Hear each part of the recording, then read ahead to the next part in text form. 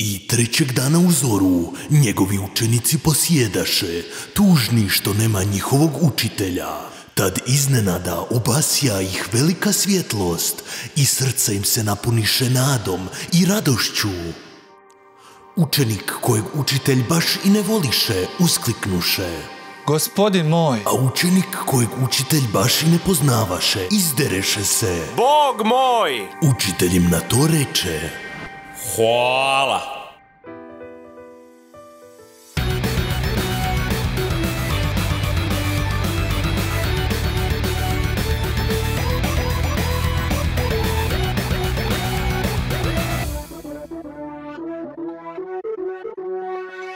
Dobro večer i dobrodošli u Vazmeni Prime Time. Nadam se da ste se natucali do sada. Jaja. To tucanje jaja je zbilja bizaran običaj kad malo razmislite. Zamislite si to prvo tucanje jaja, a? Šta prije mnogo stoljeća sjedila su dva lika na kauču i držali svako svoje jaje. Malo si odmiravali jaja. I onda je jednom od njih sinulo da ide tucnut njegovo jaje. Nagnuo se nad njim i kresnuo mu jaje. Onda se ovaj rasrdio. Pa s pozadinom išao tucnut njegovo jaje i tako su se tucali i je dosta homoerotski taj vazmeni običaj.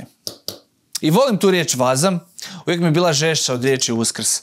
Kao ono, Isus je rekao vazam i munja je udarila u kamen s kojim je bio prekriven njegov grob, a on je izašao van u svojem superherojskom odijelu i odletio je na nebo.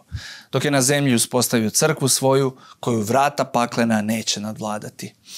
Dobro, to nešto malo s križarskim ratovima, inkvizicijom, spaljivanjem vještica, indulgencijom, pokoljem hugenota, dječjim kosturima u dvorištima, samostana i sirotišta, kao i proliferacijom pedofilije i dalje ne znači da su je vrata paklena nadvladala. Zar ne? E sad ako ste vi savladali svoj vazmeni ručak, ako ste ga probavili ili ako ga je prije vas probavila inflacija pa vam zapravo nije puno ni ostalo, onda hajde da vam taj poluprazan ili polupun želudac pokvarim svijestima iz vazmenog tjedna. Malo je zamrlo ovih dana, moram priznat, uvijek to hoće tako pred blagdane i raspuste za naše saborske i vladine mališane, ali ovaj put je ekstra zamrlo. Naime, baš kao i Isus u Maslinskoj gori i mnoštvo naših ministara ovih dana kleči pred Bogom ocem Plenkovićem, mole da ih mimoiđe čaša rekonstrukcije, svo to bičevanje medijsko, krunjenje korupcijskom trnovom krunom i razapinjanje pred javnošću, kao i smrt njihove pozicije na križu. Plenki moj, plenki moj, zašto si me ostavio? Zavapit će mnogi od sadašnjih ministara svojim zadnjim dahom umiruće funkcije. Ali da ih je bar razape ovih dana, nego kao Poncije Pilat pere ruke od rekonstrukcija prije Uskrsa i poigrava se s njima. Toliko da se nad njima sažalio poslovično okrutni kralj Herod Milanović. Ljudsko za ministre koji bi mogli otići već drugi dan zaredom traži predsjednik Republike. Ministri su na teškim drogama, pod navodnicima, dakle na paurinima, jer ljudi ne znaju šta će biti sutra s njima. Takav način držanja ljudi u pokori, to ono, podsjeća na način obuke ruskih vojnika, djedovština. I dodaje da novi ministri moraju biti stranački ljudi. Tko će sjediti u ovim stolcima, Plenković ne otkriva, ne prije Uskrsa. Želim svima sretan uskrs i zaključujem otvoreni dio sjednice vlade.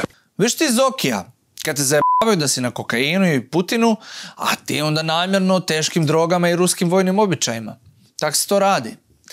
Ali ovo što Plenković radi zbilja okrutno. Kao neka izopačena posljednja večera, posljednja sjednica vlade. Samo nije tu među njima na sjednici Juda koji će njega izdat, nego je on Isus koji će izdat nekoliko Juda, Šimuna, Ivana, Jakova kroz par dana. Želim vam svima sretan uskrs. Ma kakav sretan? Pita Ladrovića dijete šta je dobio za uskrs. Smjenu. I on se rasplače. Jedno Miloševića boli k***. Njemu uskrs nije upropašten, jer njegov uskrs je tek za tjedan dana. Ha!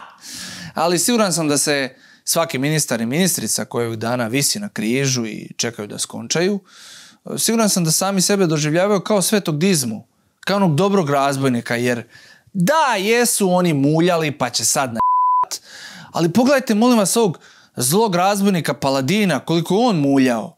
A evo Isus Bog Plenković je na to odmahnuo i rekao mu, zaista, zaista, kažem ti, već danas bit ćeš sa mnom u raju. To jest vladi, kao ministar. I džaba novinarska svjetina svaki dan iskopa neki ortački ugovor, neku otkupljenu junk obveznicu, neki dokaz da je Paladina ne samo čovjek sa insajderskim informacijama, nego insider. Ne, to Poncija Plenkovića ne zanima. On hoće Barabu za ministra. Pa što nam nudi Baraba? U zagrebačkom slučaju dvije godine, u Petrinskom godinu i pol obnova se nije maknula s mjesta. Novi ministar, nova vizija kako ju ubrzati. Ovi navedeni ciljevi su optimistični, ali istovremeno mi smo uvjereni da su realni, stojimo iza njih, ja stojim iza njih. U brojkama najavljuje do kraja iduće godine krenut će radovi na tisuću zamjenskih objekata. U idućih deset mjeseci odradit će nekonstrukcijsku obnovu na većini kuća sa zelenim naljepnicama. Prioritetno radimo na tome da svim građanima koji su trenutno smješteni u kontejnerskim naseljima ili sličnom smještaju poput hostela, termi i tako dalje osiguramo mogućnost da zimu provedu u svom domu ili adekvatnom smještaju. Pet točaka. Pet točaka nam nudi ministar Paladina. A što baš uvijek pet? A? Šta je partija Huga? Stisni pet. Što nije četiri ili šest? Siguran sam da postoji neka sedma nevidljiva točka po kojoj za vrijeme obnove ministar Paladina postaje vlasnik svih bezvrednih ruševina u Donjem gradu, Markuševcu, Kašini, Zaprešiću, na Baniju, u Petrinji i Sisku. No kad ode s mjesta ministra, a sve se obnovi, ministar odjednom od države potražuje da ga se obešteti za desetke tisuća kvadrata obnovljenih nekretnina koje sad vrede milijarde kuna. I nema onda da se neko buni tada kako mm, se to sve nije skupa u redu.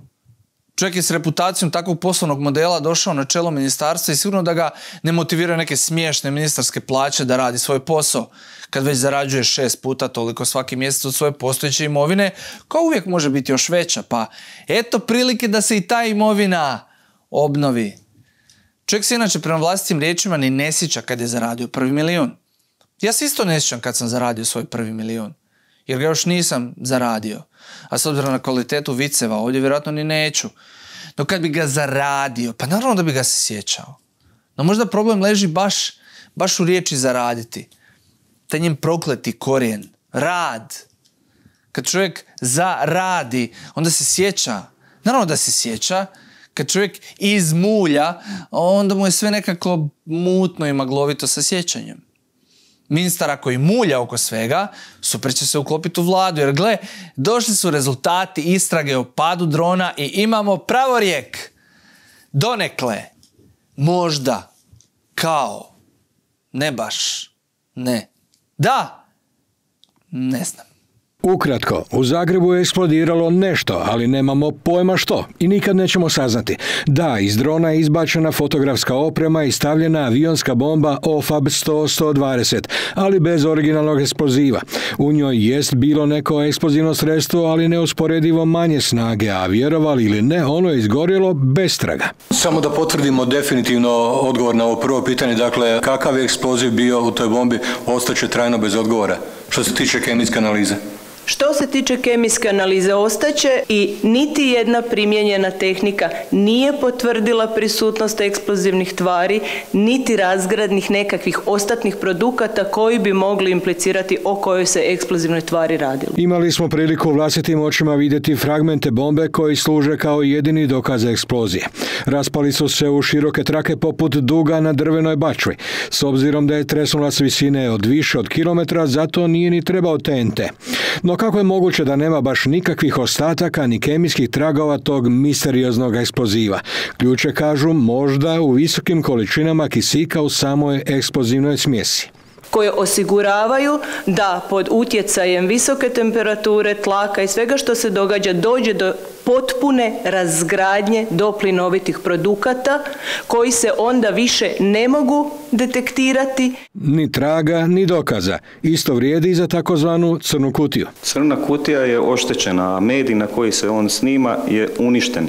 Bilo kako bilo, Plenković i Banožić bit će zadovoljni. Sad mogu reći da su potvrđeni njihovi navodi o aviobombi koja to zapravo nije i o dronu koji to zapravo nije. Prvo da je dron bio naoružan, da je na njemu bila bomba, da je došlo do eksplozije, vidi, vidi se kako i točno koje punjene je bilo, na to je na ekspertima da kažu. Da, ali eksperti kažu da ne znaju kakav eksploziv, jer bio je to tako misteriozan eksploziv za koji su se našli tako idealni uvjeti kisika da je skroz nestao prilikom eksplozije, a za koju nema sumnje da se uistinu dogodila, iako nema materijalnog dokaza da je eksplozije bilo, osim one nastale od kinetičke energije, ali tada to nije eksplozija i nije bomba, nego na neki način kinetičko oružje iz one igre Tom Clancy's End War, u kojoj se primjenjuju ta hipotetska oružja velikih šipki Wolframa, koja bi se iz svemira bacala na zemlju i čistim udarcem kinetičke energije bila bi veoma destruktivna, ali bez posljedica nuklearnog zračenja. No to su hipotetska oružja, ovo je stvarna stvar koja je pala,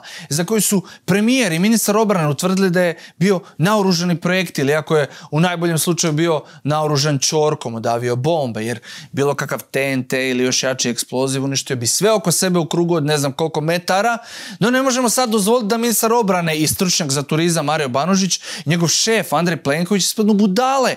Tako da imamo dron koji je naoružan ispražnjenom bombom, ali to ipak znači da je naoružan. Otprilike kao ja kad sam s onim Airsoft pištoljem hodao po mostu. Ne znam kako da vam drugačije objasnim ovu neobjašnjivu situaciju. Na primjer, Mario Banožić.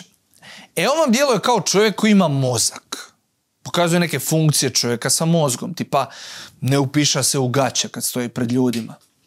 Ali kad treba složiti nekakvu rečenicu, kad treba objasniti dodjelu samom sebi državnog stana na kojeg nema pravo, umirovljenje onog brigadira s Pantovčaka ili kako je to što je palo kod studentskog doma na Savi zapravo bomba, e onda Banožićev mozak misteriozno nestane, izgori, nema ga ni u tragovima, nema nikakvog forenzičkog dokaza da postoji ni da je ikad postojao. E tako i ovaj dron avio bomba, kao što je Banožić čovjek s mozgom. I kad smo kod ljudi zakinutih za mozak, bio je nekakav skup u Splitu baš tih ljudi. Da nije bilo 10. travnja 1941. ne bi bilo ni današnje Hrvatske.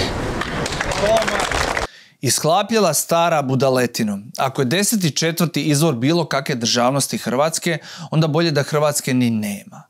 Šaku hrvatskih fašista iz Italije strana vojna sila prebacila je u Zagreb i poklonila im državu. Ni nezavisnu, ni državu, ni Hrvatsku. Da takva nikakva bude kolonija Njemačkoj i Italiji, čijem fašističkom zulumu po Europi se predano dala resursima, ljudstvom i genocidom nad židovima i romima, istovremeno se posvetivši domaće uzgojenom genocidom nad hrvatskim Srbima što je bila valjda jedina samostalna odluka koju im nisu donijeli ni Njemci, ni Italijani, nego oni sami.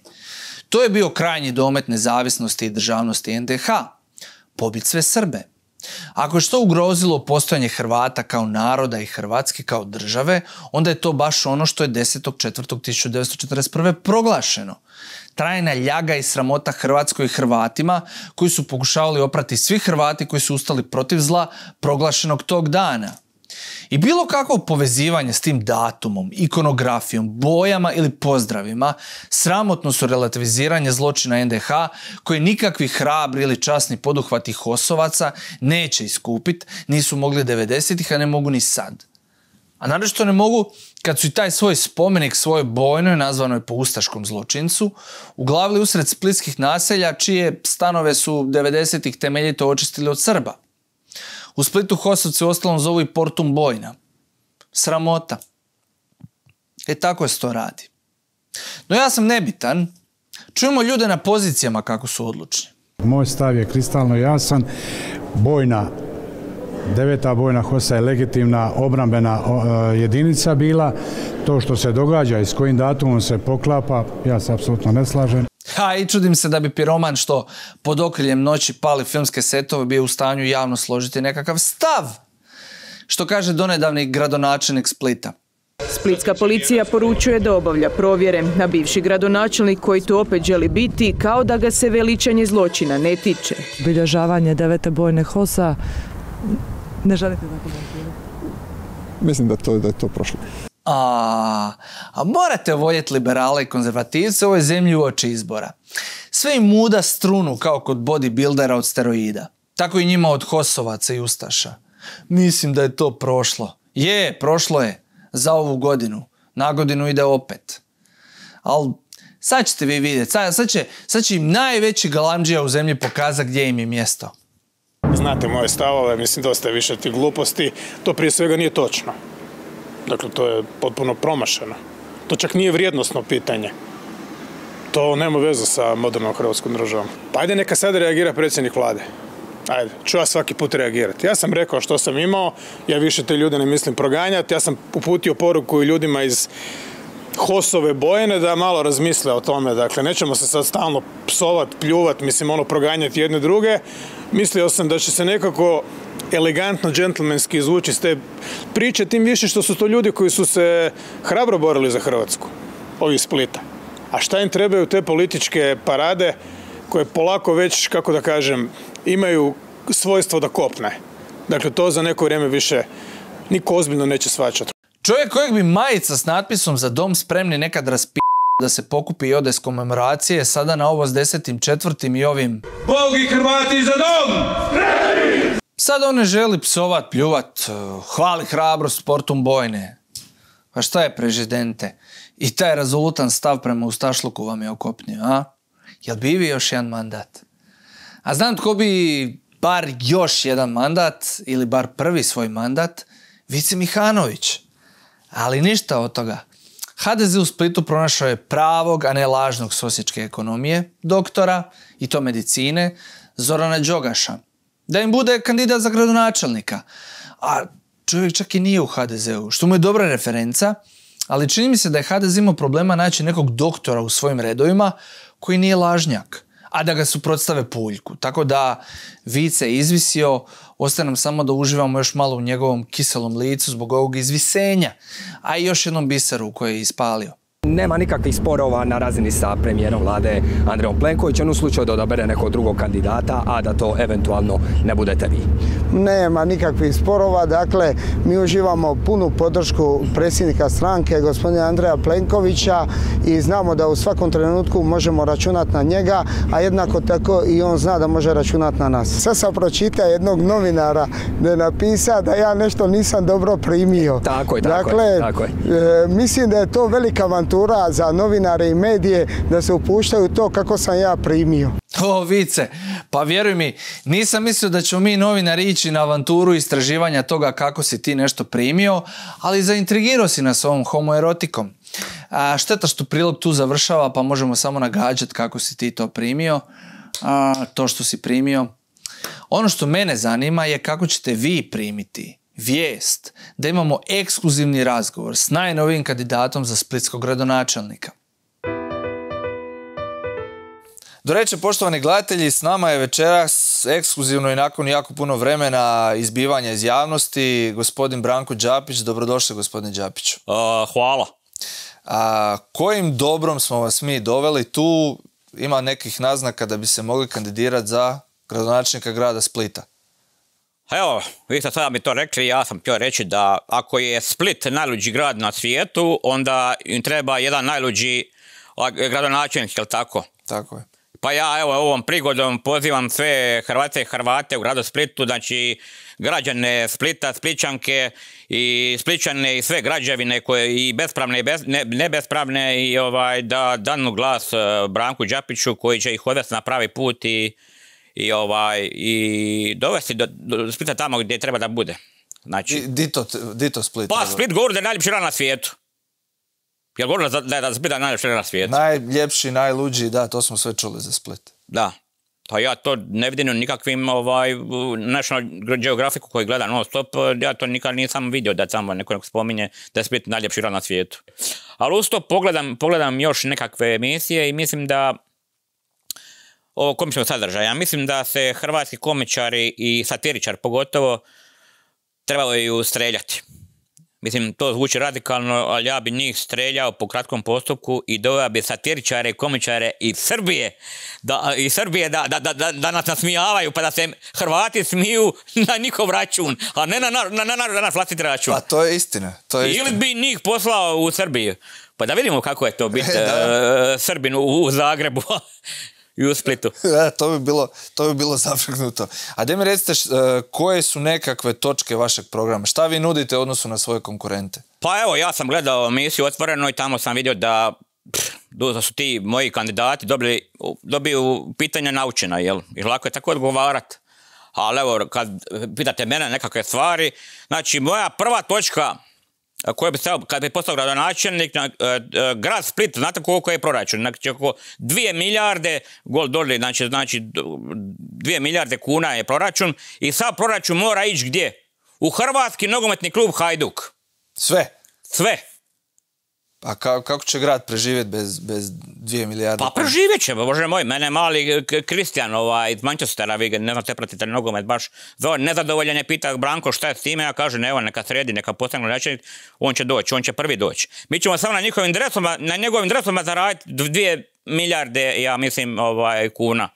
Da. Kina će popoluditi. Da. Pa znate li vi e, što je Hajduk u Dalmaciji? I znate li vi što je Hajduk? Hajduk je jedini hrvatski nogometni klub.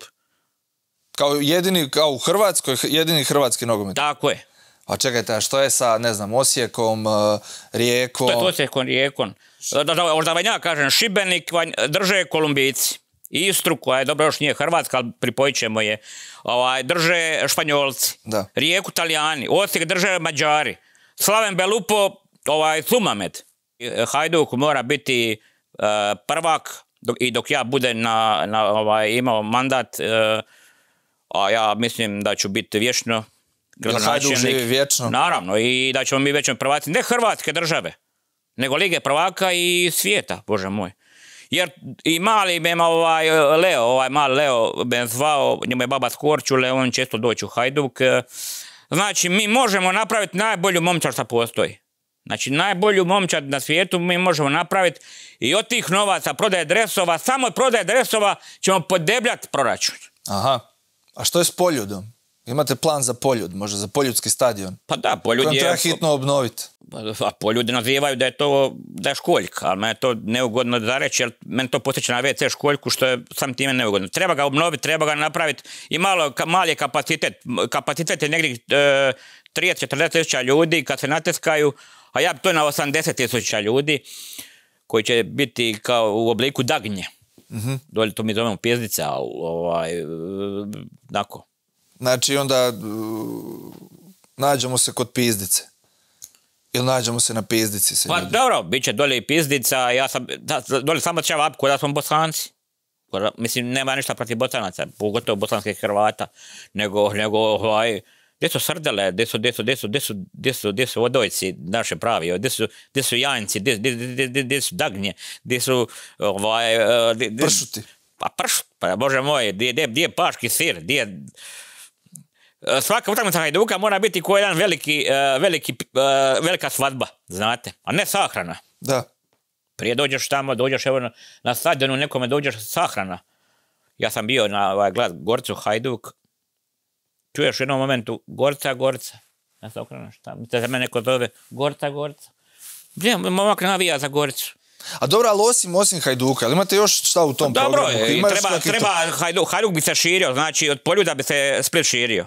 Da. postao bi svjetski poznata grad, pošto je najljepši grad na svijetu i ovaj i tako dalje. Treba sanirati još i ovaj Spaladium arenu. To je bože sačuvaj, to je Černobil. To, to, to su tolike to je tolika, ja, ja ne znam, pa se malo trese, pa ovo, pa izađeš vani, misliš da si u Benkovcu. Pa onda izađeš na drugu stranu Černobil. Onda ideš vamo vidiš Ruse.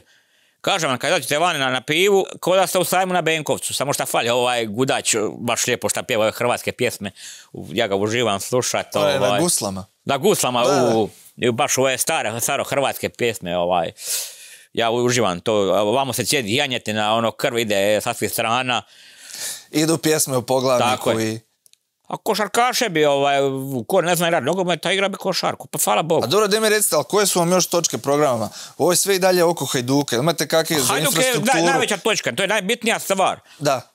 Druga točka bi bila da Spličani, mislim, ja samo tu vam kada da vam još ovo reći. Da. Ko nije za Hajduka u Splitu, ne treba ni da jede. A što se tiče pića, sad ću vam reći to. Znači, voda u gradu Splitu dolazi od e, rijeke Jadro. Čija je to rijeka, ja vas sad sad pitam. A to je Hrvatska rijeka. Hrvatska rijeka. Zašto smo se onda mi borili? Zašto se hrvatski narod borio da bi da, da, da imamo hrvatsku državu, jel tako? Ako je nešto hrvatsko, ako je Jadro hrvatsko i u Splitsko-dalmatinskoj županiji, zašto građani Splita moraju plaćati vodu, ja vas pitam? Da li sam ja kriminalac ako dođem s bela kanistara od 20 litara i upadem i u jesi jadro i natočim to, da li sam ja ukrao ti 40 litara ovaj, vode? Niste. A kad dođe u kućanstvo, onda ti džapću plati to. Ili ovaj, daj neko iz Splita građan, jel? Da. Ti to plati. To mora biti gratis, znači Cetina, Jadro, to sve mora biti gratis. Ne samo u Splitskoj-Dalmatinskoj županiji, nego i u cijeloj Hrvatskoj. Sve što je naše, mora biti naše. Druga stvar, to je taj lobby od vodovoda.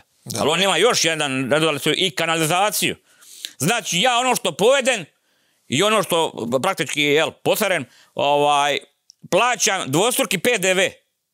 Ko to plaća? Ja? Mislim, e, te stvari građani Splita kad ja budem gradonačelnik neće više plaćati. Znači, uh, Hajduk, vodovod, odvodnja, jel imate još nekakvih Imamo, prijedloga? pa- pa- Možda pa- za demografiju, jel imate nekakvih Da, rješenja za demografiju? Imamo, imamo više stavki, ovaj, zato što, recimo, svi kažu Split, Split ima najljepše žene na svijetu.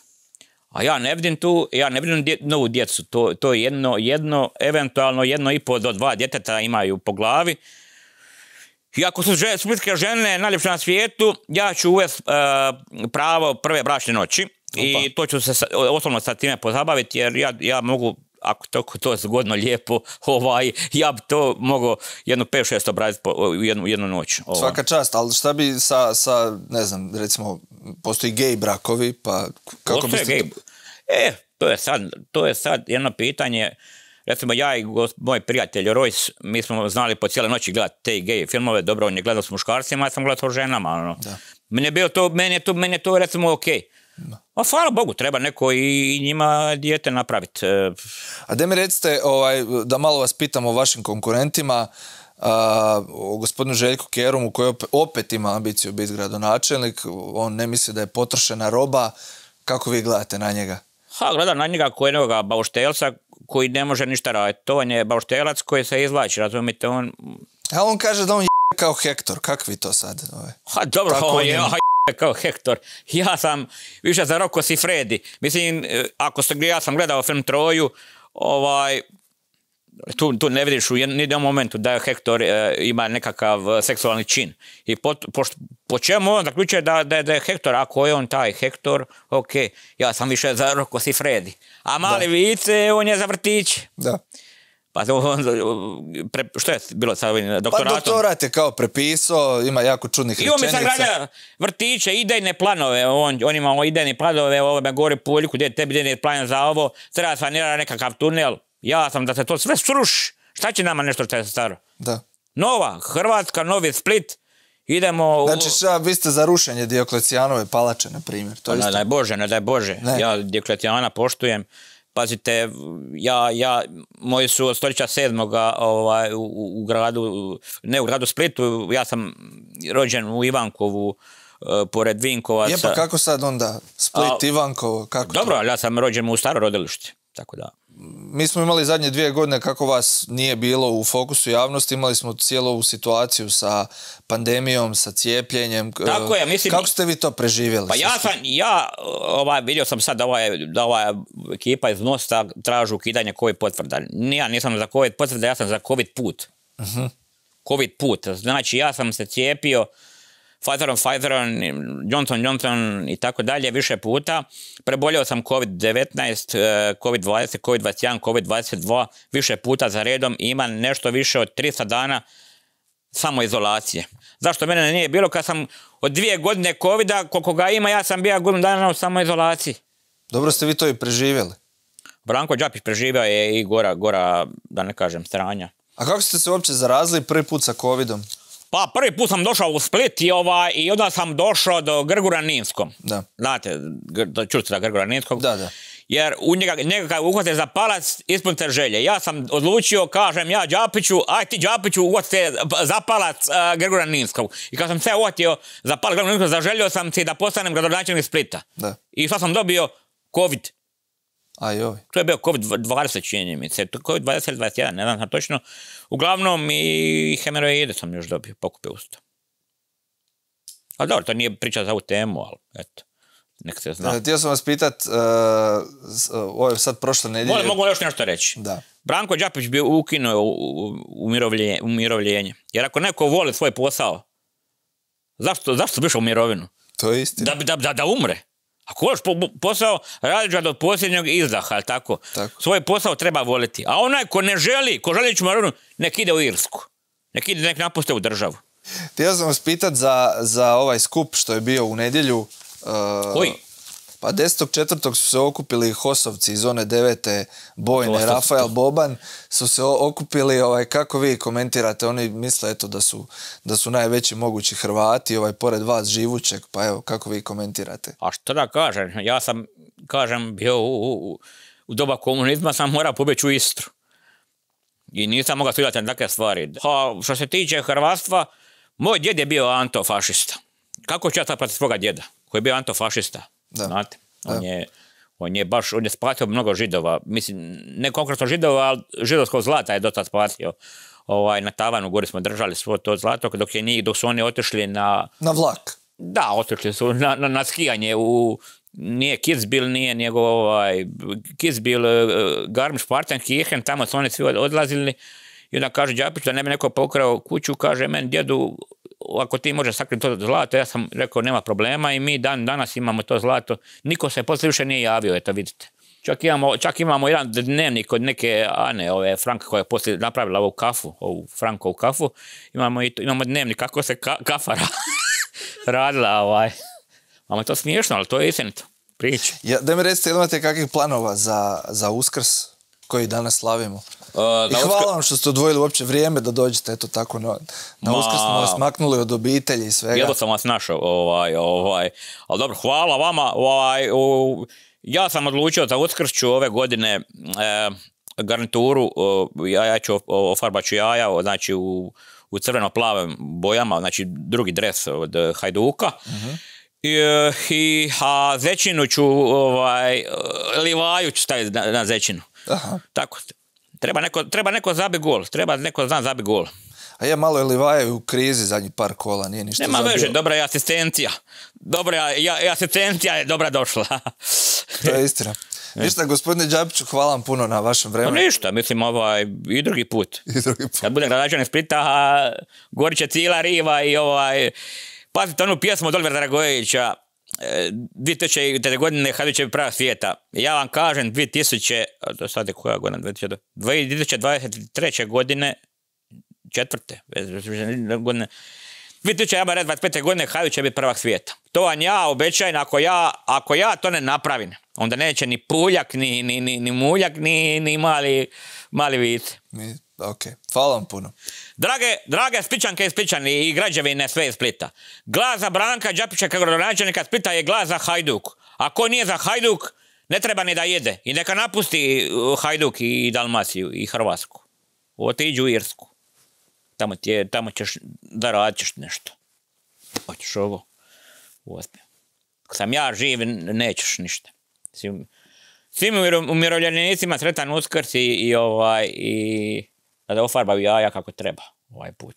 To je bilo sve za večerašnji prime time. Svim gledateljima koji slave Uskrs želimo sretan Uskrs. E, da sam barem ja uskrsnio. Gledam ovaj prime time u paklu i mislim se, sad će Đapić preuzeti Splita, ja ovdje u paklu ne mogu ništa poduzeti za grad Zagreb. Treba delat, vidiš kako čovjeka dela, šta se se događa. Ajde ti iz emisije, izađi, izađi iz emisije, ne trebaš ti više biti. Katastrofa, sinoć ova te emisija bila dobra, poučna. Nadam se kad dođem u raj da će, da ćemo se promijeniti stanje. A ti, ti, ti se tu prži e, Bandiću i dalje. Pa neka vide ljudi kako je tako je tebi. Ora moja, svako selo.